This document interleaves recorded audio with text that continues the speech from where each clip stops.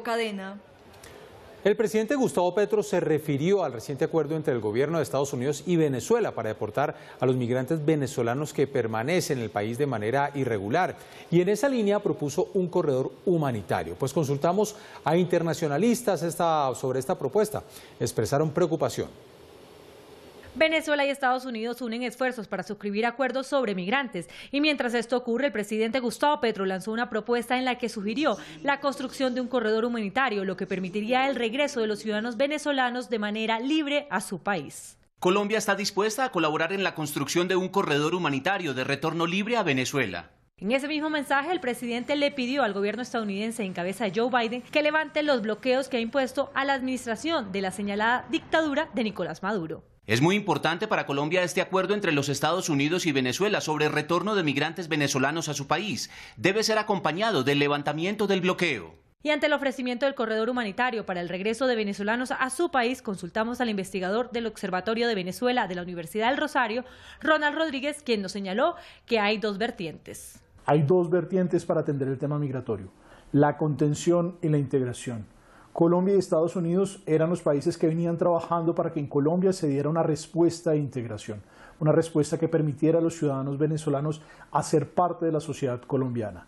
Cada vez que un ciudadano venezolano decide tomar la ruta hacia los Estados Unidos por el Darién, es un fracaso en esa dinámica de integración. Sin embargo, para la politóloga en derechos humanos, Natacha Rojas, la propuesta tiene altos niveles de preocupación si se tiene en cuenta que comienza el poder de deportación y en muchos casos no será con consentimiento como parte de su programa Vuelta a la Patria. Es decir, estas personas que van a ser deportadas, que no están tomando la decisión de manera libre, van a ser registradas como si fuesen personas que efectivamente desean regresar al territorio venezolano.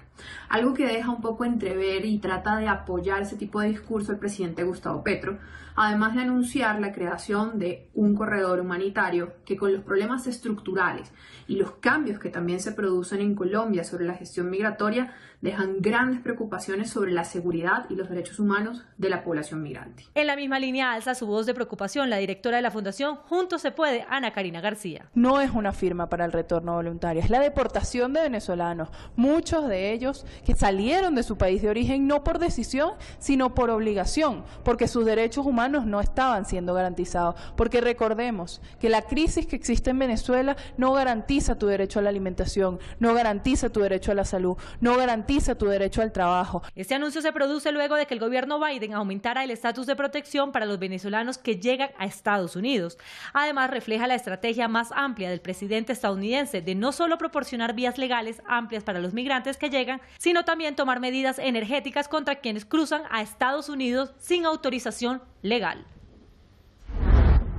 Se reitera una vez más algo sobre lo cual ha habido quejas persistentes y reiteradas, especialmente del gobierno de Panamá, pero también del gobierno de Costa Rica, en el sentido en que no hay suficiente colaboración de parte del gobierno de Colombia, que se ha desentendido de alguna manera del problema, que ha planteado las cosas como si no tuvieran que ver con nosotros.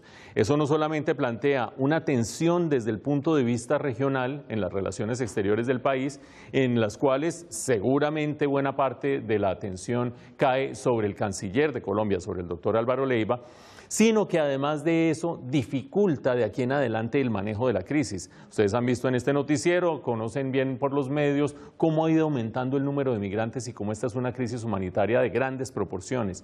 Ojo que esto no es solamente responsabilidad del gobierno de Gustavo Petro, el nivel de indiferencia frente a este problema viene desde el gobierno de Iván Duque y casi que parte de un supuesto que creo yo que es equivocado, y es decir, como el clan del Golfo se está lucrando de todo esto, pues entonces el clan del Golfo es difícil de combatir, entonces dejemos que esto siga sucediendo. Eso equivale a permitir que la ilegalidad se imponga en el país y no solamente cualquier tipo de ilegalidad, una ilegalidad que trafica con las vidas humanas en este caso. Pero la segunda dimensión Vean ustedes cómo el gobierno de Gustavo Petro, que no colabora con los gobiernos vecinos, sí se muestra muy solícito con las eh, propuestas del gobierno de Estados Unidos. Eso confirma algo que hemos señalado en este noticiero, y es que la relación con Estados Unidos es altamente compleja. En algunos temas hay clara colaboración de Colombia con el gobierno de Estados Unidos, en otros temas hay clara confrontación.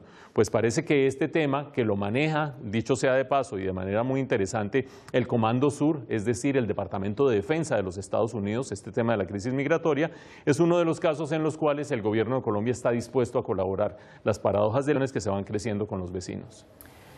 Y el